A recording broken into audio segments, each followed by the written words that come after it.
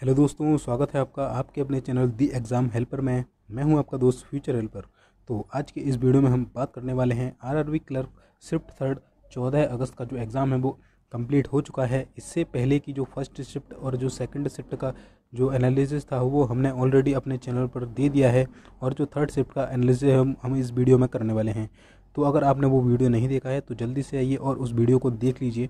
और आगे आने वाली शिफ्ट का भी हम एनालिसिस आपको देने वाले हैं तो उसके लिए आप चैनल को सब्सक्राइब कर लें और बेल के आइकन को प्रेस कर लें। जिससे कि आप आने, आगे आने वाले नोटिफिकेशन को मिस ना कर सकें। तो देखिए, इस वीडियो में हम एनालिसिस करेंगे, उसके साथ ही देखिए सेफ़ अटैम्प्ट क्या रहने वाले हैं, वो भी हम इस वीडियो में आपको बताने वाले हैं। इसके बाद देखिए, ये नीचे क्या लिखा हुआ है, इतना ईजी मतलब पहली शिफ्ट तो इसने नॉर्मल दी। दूसरी शिफ्ट उससे थोड़ा अप कर दिया, फिर तीसरी को ईजी कर दिया। मतलब क्या चाह रहा है यार पता ही नहीं चल रहा यार मतलब। चलिए देखते हैं फिर भी। ठीक है, हम एनालिसिस करते हैं। चलिए तो हम पहले बात कर लेते हैं रीजनिंग में आखिर क्या पूछा गया है। तो रीजनिंग की यदि बात करें ये कि चौदह अगस्त थर्ड शिफ्ट देखिए, पाँच जो है आपके स्लॉक्स पूछे गए थे मॉडरेट कह सकते हैं, क्योंकि तीन स्टेटमेंट और तीन दो कंक्लूजन वाले पूछे गए थे। इसके बाद देखिए पाँच नंबर की सीरीज़ पूछी गई थी, जो कि थ्री डिजिट वाली सीरीज़ थी इजी थी। इसके बाद पाँच नंबर का इनक्वलिटी वो कि डायरेक्ट था और एक दो क्वेश्चन में शायद डबल स्टेटमेंट थे, ठीक है ना? तो ये भी देखिए मतलब सीरीज़ भी मिल गई तुम्हें सिलॉक इनोक्वलिटी मिल गई स्लॉक्स मिल गया इसके बाद अलेफा न्यूमेरिक सीरीज़ भी मिल गई तीन नंबर की। तीन का ब्लड रिलेशन ये थोड़ा टफ पड़ रहा था क्योंकि इसमें जो है पॉसिबिलिटी आ रही थी, ठीक है ना? एक किसी एक पर्सन को लेकर पॉसिबिलिटी आ रही थी तो ये थोड़ा टफ था। इसके बाद तीन से चार आपके मिसलेनियस थे, जिसमें कि वर्ड फॉर्मेशन से था और एक ऑड बन आउट से भी था शायद।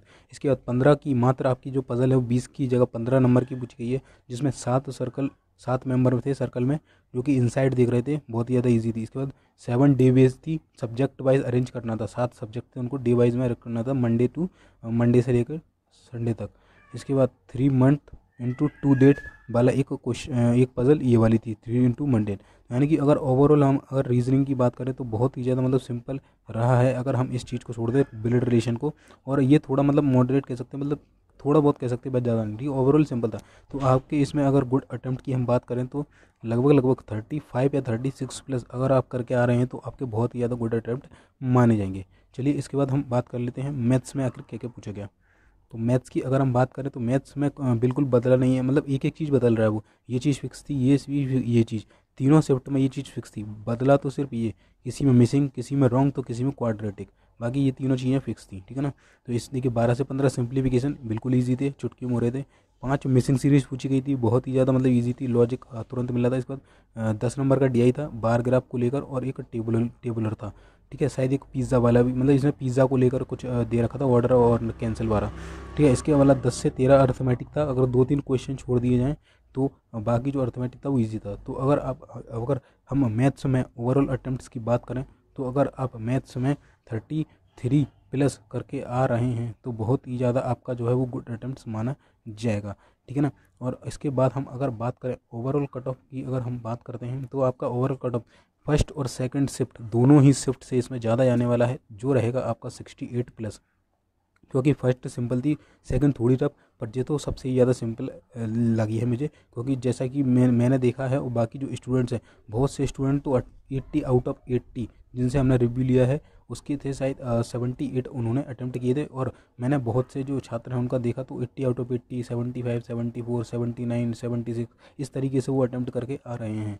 तो अगर हम ओवरऑल गुड अटैम्प्ट की अगर बात करें तो एक एवरेज जो कट ऑफ़ जाना चाहिए वो सिक्सटी एट प्लस रहेगा आपका और ये जा सकता है सेवेंटी फाइव तक, ठीक है? क्योंकि शिफ्ट बहुत ही ज़्यादा थी अगर आप कैटेगरी से हैं तो आप तिरसठ प्लस मान के चलिए, ठीक है ना? तिरसठ से ज़्यादा और सत्तर के तिरसठ से सत्तर के बीच में अगर आ रहे हैं तो बिल्कुल आप सेफ़ सेफ़ जोन में हैं।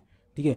और अगर आपको ये वीडियो अच्छा लगा हो तो चैनल को लाइक कर दें और चैनल को सब्सक्राइब कर लें और वीडियो को लाइक कर दें और अपने दोस्तों के साथ शेयर करें। इसके साथ ही हम आगे आने वाले शिफ्ट का भी एनालिसिस इस वीडियो में देने वाले हैं और साथ ही अगर इस, जब इसकी पूरी शिफ्ट कंप्लीट हो जाएँगी, उसके बाद एक आपको ओवरऑल कट ऑफ़ एनालिसिस दिया जाएगा। तो बने रहिएगा इस चैनल पर। थैंक यू सो मच जय हिंद, जय भारत।